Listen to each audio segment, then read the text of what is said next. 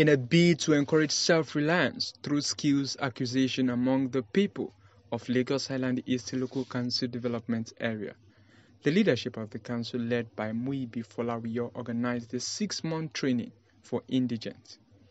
The graduation ceremony was graced by political, traditional and religious leaders, council officials, residents as well as graduates. In his keynote address, the executive chairman Muibi Folawiyo said the best way to excel in life is through knowledge, hence the need to train the youth in various skills. He advised the graduating students of the skills acquisition training to make judicious use of the skills learned and also pass on the knowledge. Vocational education has become an integral part of life. It is the art of acquiring a skill in order to earn a living and survive possible threat of economic action. It helps to improve quality of life and appreciate human capacity, capability.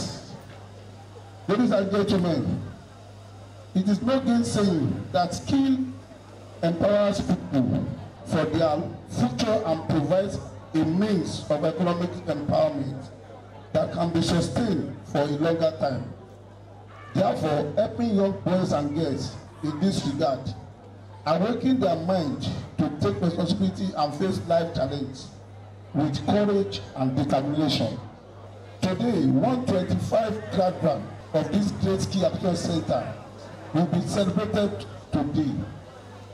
We have 51 from fashion design, 29 from hairdressing and cosmetology, 17 from computer, 25 from, from shoemaking, and 3 from refrigerating and air conditioning.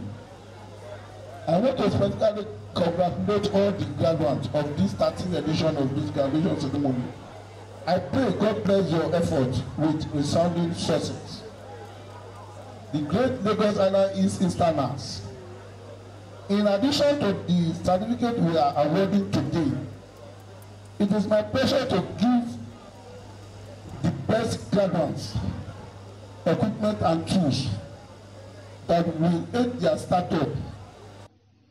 The acquired skills include barbing, makeup artistry, fashion design, cosmetology, and computer appreciation. To spice up the occasion, there was a fashion parade by the cosmetology department. Stakeholders lauded the initiative and advised the youth to be great ambassadors of Nigeria. My advice to the beneficiary is whatever they gave them to today, any tools given them today, they should try and use it well and use it properly. They should not just keep it at home. It is not meant for home, it is meant for work. My advice to my students today, with the knowledge that they have here, they can establish with it and continue. It will even help them in the school because most of them is still in the school, like university. Can even support them. Yeah, to the beneficiary that they should keep up the skill. It is not just learning the job alone, but going to the field and practice what they have learned. And you know, the, the local government have also supported them with cash gifts and also equipment. My advice is that they should not eat, they should not toy with the skill that they have acquired so that that objective can be realized. That is providing a livelihood with a skill that they have achieved. As you know, entrepreneur, entrepreneurial skill is one of the best thing you can give any young man or woman. And this will uh, put this young one on a very good pedestal where they will be, most of them can be self-employed, most of them can use this skill to make a living for themselves. My great advice to these beneficiaries is that they should see this as a privilege and take, make very good use opportunity of this so that at the end of the day they will start to benefit more. The chairman assured of his commitment in improving the livelihood of residents. He noted that he simply wants to serve his people. I promise them that I, I want to be accountable to them. I promise that they should ask for what their money is being spent on and give it back to the people. It's not by giving money. Giving back to the people is not only about structure, doing road. We need to look inward to improve the economic situation of the of the local government and Lagos State in general.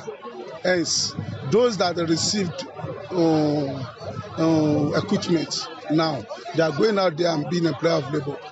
And even the federal government acknowledge the you know, improvement of improvement of SME, and that is what we are following. And we believe what we did today is just a bit, it's just an inch of what we have in stock for them. The skills learnt are for the sport youth to be self-reliant.